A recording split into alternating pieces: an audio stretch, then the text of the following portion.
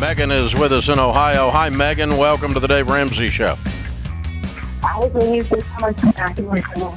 Um, so, my husband and I are debt free, and we have a fully funded uh, six month emergency fund. We just put in um, a cash offer that was accepted on our first, what would be our first home. And it's a HUD foreclosure, um, which we're, we're learning more and more about. The problem and our hesitation with it is that pretty much the entire um, offer, if we go through with this, it's like all the money that we have aside from our emergency fund.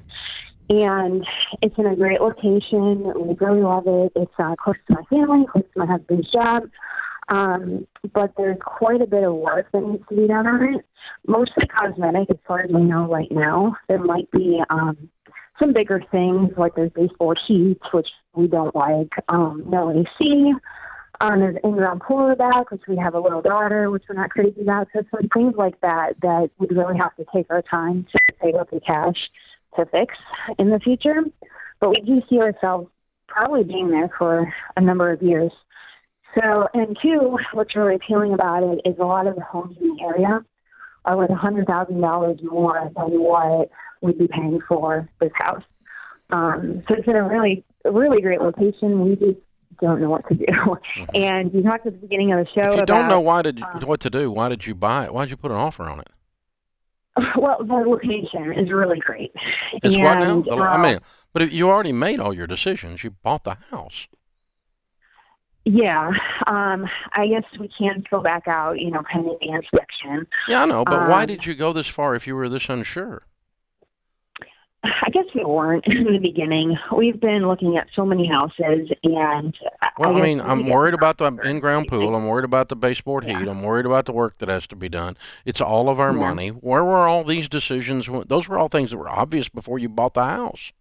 Yeah, yeah, they were. They were. Yeah. You're absolutely right. Yeah, and that's that's my hesitation with it, and that's that's why I'm a little scared. So I guess So, was this has something like your husband decided to do, and you were like half going along with? Oh, no, no, no, no. We were both in it, and I think we both had a bit of house fever in the beginning of it for sure. And Yeah. you know, when Okay, so what would you be paying for the house?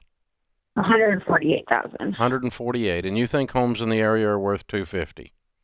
Mm-hmm, or more. Yeah, there's a lot of new. And what will it take construction to repair this house? Um, I don't. I would say at least ten thousand. I would say more. I I think so. Yeah. You got to put heating and air in a house. Mhm. Mhm. Heat and air Yeah. system alone is probably going to, you know, touch up. I mean, you got ductwork and everything because you got baseboard heat, right? It's yeah. It's not easy Yeah. to. And you got cosmetic. Is the roof good? I think so. Yeah. Mm-hmm. Yeah. We haven't had the home inspection. And you're paying yet. cash for the house.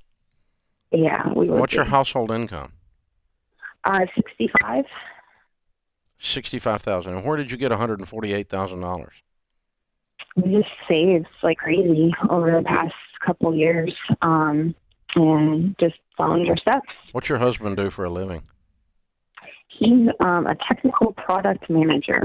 Um, Who's, and who's going to do these repairs?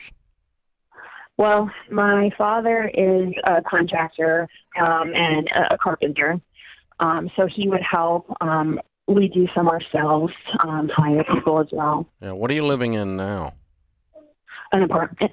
It's a month-to-month apartment. Mm-hmm. So you're going to stay there a little while while you get some of these repairs done? Um, it's livable right now, so we could move into it. Um, as far as we know, Much harder to do repairs around you. yes, yeah, for sure. Hmm. Yeah.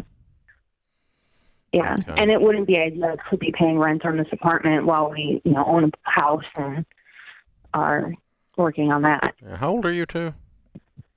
Uh, 32, I'm 32, he's 34. Okay. All right. I can't tell whether you've gotten cold feet or whether you don't know how to make decisions. I can't tell what's going on. I really can't tell. Because you bought a house. You bought a house. Yeah. You made the decision to spend the money that you have, that you've the precious money that you've saved up down to the last dollar, which means you have to cash flow out of your budget the money for the repairs, and now you're freaking out. Um, and I can't tell what's causing that. Uh, you, you, you really should be like embracing the adventure and excited, or you should have not entered into this deal in the first place. One of the two.